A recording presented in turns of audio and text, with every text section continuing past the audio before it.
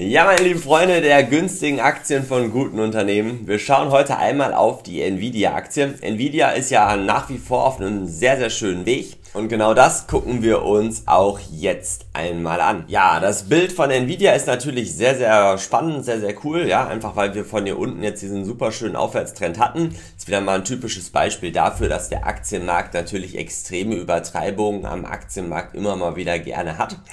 Und ja, wie wir sehen können, läuft dieser Aufwärtstrend jetzt hier schon eine ganze Weile. Ja, sind jetzt 576 Prozent im Plus seit diesem Rücksetzer, den wir hier im Dezember 22 hatten.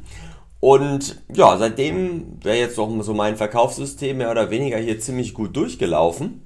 Und jetzt geht es halt darum, hey, was machen wir denn mit der Aktie? Ja? Wie gehen wir damit um? Ähm, wie günstig oder teuer ist die Aktie? Wir sehen, wir sind kurz vor der 1000 US-Dollar, sicherlich eine psychologische Marke, wo die Aktie durchaus gerne mal drehen könnte und wie teuer die Aktie jetzt einfach im historischen Vergleich ist, zum Beispiel jetzt hier zu diesem Hochpunkt, den wir in 2021 dort mal hatten, das wollen wir uns jetzt einfach einmal angucken. Dazu sehen wir jetzt hier unten in grün einmal die Momente, wo mein System gesagt hat, jo, das ist durchaus sind Momente, in denen man mal in die Aktie investieren könnte. Du siehst, das kommt nicht allzu oft vor.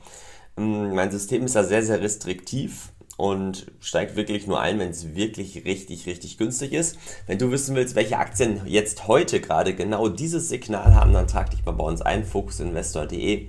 Ähm, dann schicke ich dir das einfach jeden Tag einmal zu. Die Marktkapitalisierung liegt jetzt gerade bei 2300 Milliarden bzw. 2,3 Billionen US-Dollar, also nochmal höher als das, was du jetzt hier siehst.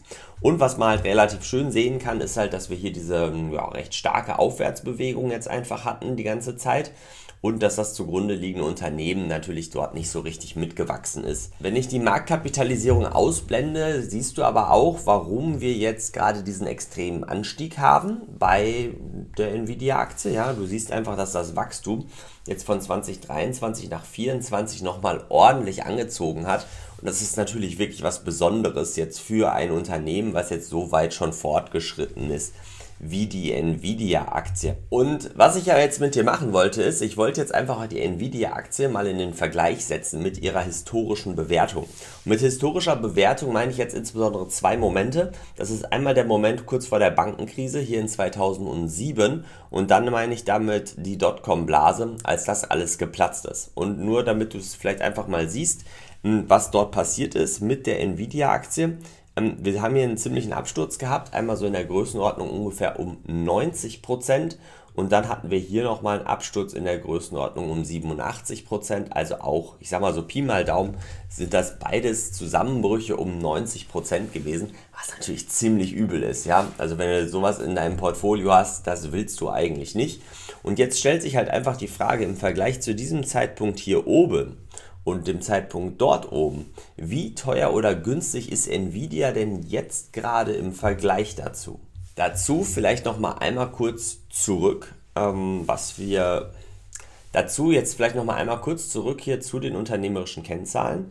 Du siehst, dass die relativ ähnlich verlaufen. Es gibt so ein paar Besonderheiten. Also der Gewinn ist momentan sehr sehr hoch gewesen. Jetzt 2024 ist der Gewinn jetzt bei 34 Milliarden US-Dollar gewesen, was wirklich ein sehr hoher Wert ist. Du siehst hier, die, der höchste Wert war vorher 10 Milliarden und da sind natürlich diese 34 nochmal ein Plus um 24 Milliarden. Das wär, ist natürlich schon wirklich beeindruckend. Das heißt, ich würde jetzt vorschlagen, wir gucken uns das Ganze mal hier im Vergleich zum Gewinn an und im Vergleich zum Umsatz. Ich denke, wenn wir diese beiden Kennzahlen mal zusammennehmen, dann ähm, haben wir schon ein sehr, sehr gutes Bild. Ja, also insbesondere weil der Gewinn natürlich momentan exorbitant hoch ist im Vergleich zu dem, was so historisch normalerweise drin war. Ja, und hier siehst du jetzt die beiden Verhältnisse einfach mal im zeitlichen Vergleich. Das heißt, immer ein Punkt ist ein Monat. Das heißt, wir haben eine relativ genaue Auswertung jetzt hier zurückgehend bis 1999. Und wir haben in Rot haben wir das Kurs-Buchwert-Verhältnis und in Blau haben wir das Kurs-Umsatz-Verhältnis. Und du siehst, die beiden verlaufen vom Prinzip her schon mal sehr, sehr ähnlich. So, dann gucken wir mal rein. Also, wir haben das Kurs-Buchwert-Verhältnis. Wir hatten zwei Spitzen. Das war einmal hier die Spitze in 2007 bei der Bankenkrise. Dort war, das, war die Spitze bei 8,8, ja, und in der Dotcom-Blase Ähm, ja, da muss man sich, jetzt kann man sich so ein bisschen streiten, wo jetzt der höchste Punkt ist in dieser Bewegung, ja. Aber das maximale Kurs-Buchwert-Verhältnis war mal 26 im Jahr 2000, ja. Ähm, wenn wir das gleiche mit dem Umsatz machen, ähm, sehen wir ähnliche Peaks, ja. Und Fakt ist auf jeden Fall, wir sind in beiden Verhältnissen, sowohl was Umsatz als auch was Buchwert angeht, natürlich viel teurer, als wir damals in diesen Krisen waren, wo wir danach sogar zusammengebrochen sind um ungefähr 90 Prozent. So, und wenn wir uns jetzt den Gewinn mal anschauen, Insbesondere vielleicht mal die Schätzung für das nächste Geschäftsjahr. Ne? Also hier 2025 ist jetzt das nächste Geschäftsjahr, was jetzt noch nicht abgeschlossen ist bei Nvidia, weil die haben ein bisschen verschobenen Zyklus, was ihre Geschäftsjahre angeht. Und da siehst du, dass wir mit einem KGV von 37, was jetzt geschätzt ist fürs nächste Jahr, noch gar nicht so richtig teuer sind. Also im Vergleich zu dem, was da so bei Nvidia schon mal so drin war. Ja? Das heißt, es ist auf jeden Fall nicht ausgeschlossen, dass wir vielleicht auch hier hochkommen. Vielleicht wieder Richtung KGV von 100. Und wenn wir das halt machen würden, wäre das quasi noch ein Anstieg um 170 Prozent vom aktuellen Level. Heißt, wenn man jetzt mal sagt, dass diese Bewertung über das KGV eine sinnvolle Bewertung ist für jetzt die Nvidia-Aktie zum aktuellen Zeitpunkt, gibt es durchaus Argumente, die dafür sprechen, dass jetzt wir hier oben vielleicht nochmal hinkommen könnten, was dann ungefähr 170% Rendite vom aktuellen Level bedeuten würde. Gut, das heißt, wir haben so ein bisschen gemischtes Bild, ja? Wenn wir uns jetzt aber einfach mal den Mittelwert anschauen, wie die durchschnittliche Bewertung in den letzten Jahren war und wie jetzt die Schätzungen fürs nächste Jahr sein sollen, dann bekommst du hier diese fairen Werte raus, ja?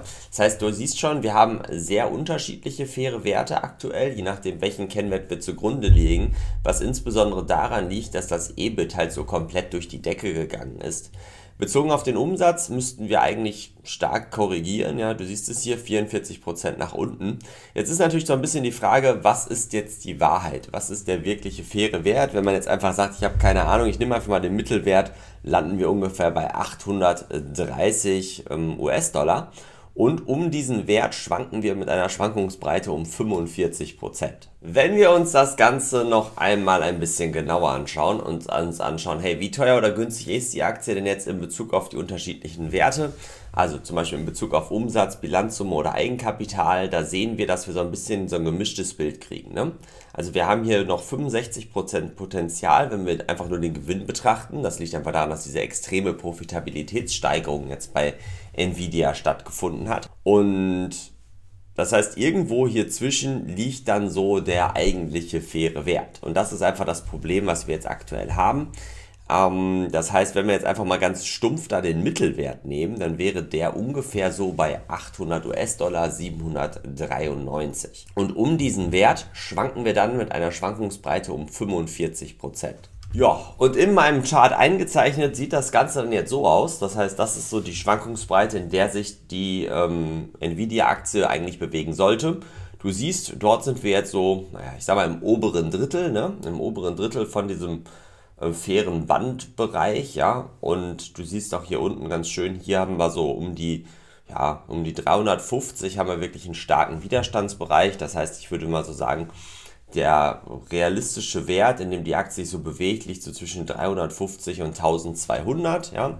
Also ich denke mal, wenn du auf 1200 bis Ende des Jahres setzt, ähm, dann ist das, denke ich, durchaus keine unrealistische Schätzung. Ne? Also das wäre, denke ich, so ein ganz gutes, positives Szenario meiner Meinung nach. Die durchschnittliche Rendite auf diesem Intervall von jetzt ja, bis Ende des Jahres liegt übrigens ungefähr bei 15%, ja, wobei die maximale Rendite mal bei 166% lag. Auch wenn du dir hier unten mal so die Verteilung anschaust, Nvidia vom Prinzip her hat eigentlich immer ziemlich gut performt und gerade so, ja, so Bewegungen so zwischen 30 und 50 Prozent waren durchaus, ich sag mal, der Normalfall. Ja, also diese 30 Prozent hatten wir so im Durchschnitt, würde ich mal behaupten, bei jeder zweiten Bewegung. Lass uns als letztes noch einmal versuchen zu verstehen, wie wahrscheinlich ist es denn, dass wir auf diesem Intervall hier hoch bis zu unserem fairen Wert, dass wir dort jetzt wirklich umdrehen. Also dass wir dort jetzt an einen Punkt kommen, wo wir danach einen Rücksetzer kriegen, der mindestens um 20% läuft. Das heißt, 20% ist gar nicht so viel hier bei der Bewegung. Ja, siehst du hier ja, das wäre so äh, ja, bis hier runter. Ich halte auch hier runter eine Bewegung so minus 50% ist denke ich, nicht ausgeschlossen. Wie weit die dann geht, weiß ich nicht, aber halt mindestens 20 Prozent. Das ist halt immer so bei mir so die Grundregel. Ja, das heißt, wie wahrscheinlich ist es jetzt auf diesem Intervall hier von jetzt bis ungefähr 1150 US-Dollar, dass die Aktie dreht? Und wenn wir uns genau das jetzt hier einfach einmal anschauen, dann können wir das hier ganz schön sehen. Also das, wir haben ein sehr, sehr gemischtes Bild, was diese Umkehrwahrscheinlichkeit angeht. Ähm, hier technisch 1, da kann ich jetzt so manuell noch ein bisschen mehr zu sagen. Der Wert, der müsste so ungefähr so um die na, 70 Prozent ungefähr liegen. Und ja, wenn man sich das Ganze so anschaut, dann müsste also hier der Durchschnitt wahrscheinlich noch ein bisschen höher gerechnet werden. Meiner Erfahrung nach sollte der Wert so um die 53 Prozent ungefähr liegen. Also das dürfte die Umkehrwahrscheinlichkeit jetzt hier auf diesem Intervall nach oben sein. Und die Frage, die du dir jetzt einfach stellen musst, ist, wie bewertest du jetzt die Situation? Ich versuche dir jetzt mal so ein paar Möglichkeiten aufzuzeigen. Also, wie bewerten wir die Situation jetzt? Also, wir können definitiv festhalten, die Aktie ist natürlich relativ teuer. Da erzähle ich aber keinem was Spannendes zu. Ähm, jetzt haben wir aber gesehen, diese Diskrepanz zwischen den unterschiedlichen Kennzahlen. Ja? Das heißt, du musst für dich jetzt versuchen herauszufinden, was ist die maßgebliche Kennzahl, mit der man eine Aktie wie jetzt die Nvidia bewerten sollte. Wenn du das KGV ganz klassisch nimmst, hast du gesehen, haben wir sogar noch einiges an Potenzial nach oben, ja, trotz dieser sehr hohen Kurse. Und das ist natürlich eine etwas verrückte Situation. Zum KGV neigt man normalerweise ja bei Aktien, die so aus diesem ganzen Value-Segment kommen. Und genau das ist jetzt so ein bisschen das Problem. Wenn wir jetzt sagen, ja, ähm, KGV passt mir gerade ganz gut in den Kram, ja, da haben wir noch einiges an Potenzial nach oben. Ich nehme das jetzt mal für diese Aktie. Dann musst du dich halt fragen, ist das der richtige Indikator für die Art von Aktie, die Nvidia ist.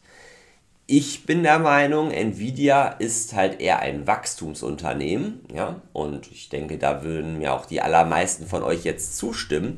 Und dementsprechend sollte man Nvidia meiner Meinung nach eigentlich nicht über den Gewinn beurteilen, sondern eher zum Beispiel über die Umsatzzahlen. Und wenn wir das halt machen, ist das Bild sehr, sehr klar, weil Nvidia in dieser Hinsicht halt einfach gerade recht teuer ist. So. Ja, überleg dir einfach, was passiert oder wie du die Situation so einschätzt. Ähm, du hast jetzt auch gesehen, in welchem Band sich die Aktie so normalerweise bewegen müsste. Dort sind wir tendenziell auch eher in der oberen Ecke. Jetzt können wir halt durchaus argumentieren, ja, wir könnten darauf setzen, dass wir noch steigende Kurse bis zum Ende des Jahres sehen werden. Ähm, so 15, 20 Prozent. Und dann kann man halt schauen, okay, wie haben sich dann wieder die Zahlen entwickelt? Ja, weil wenn wir natürlich dann wieder 40 Prozent Wachstum haben oder 30 oder 40 oder 100 oder whatever, keine Ahnung, was Nvidia jetzt als nächstes schaffen wird, dann könnte man natürlich auch wieder höhere faire Werte, ich sag mal, als Grundlage nehmen. Und das macht es natürlich dann wiederum eigentlich ziemlich interessant und ziemlich spannend. Das heißt, das ist die Diskrepanz, in der du da bist. Also, wie gehe ich persönlich jetzt mit der Situation um?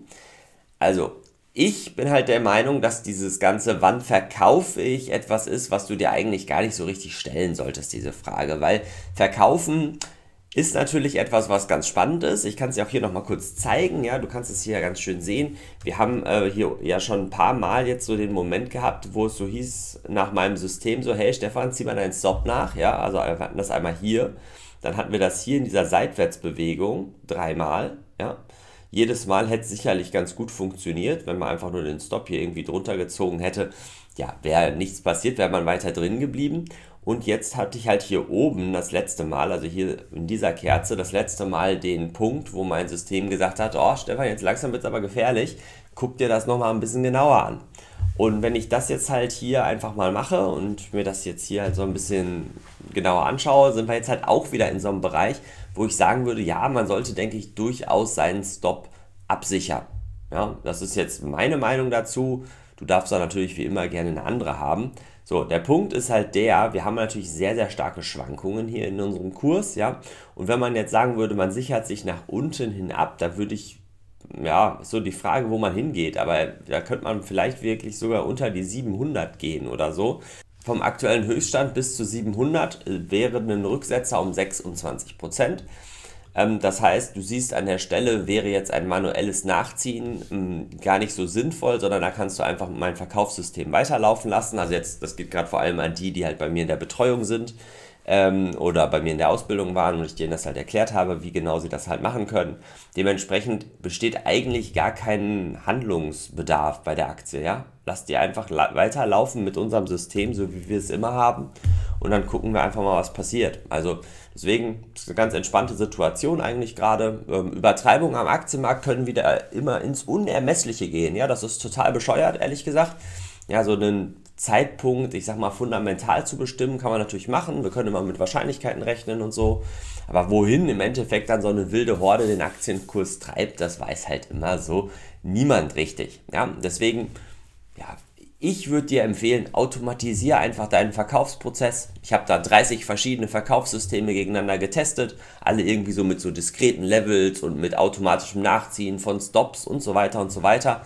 Und irgendwie so eine Kombination solltest auch du dir einfach bauen. Ja? Oder wie gesagt, du kommst halt zu mir mal in die Ausbildung und dann erkläre ich dir das irgendwie. Also wenn, ich, wenn du dich dafür interessierst, komm erstmal bei uns in den Investmentclub fokusinvestor.de und dann, am Ende kann ich dir dann ein bisschen was dazu noch erzählen.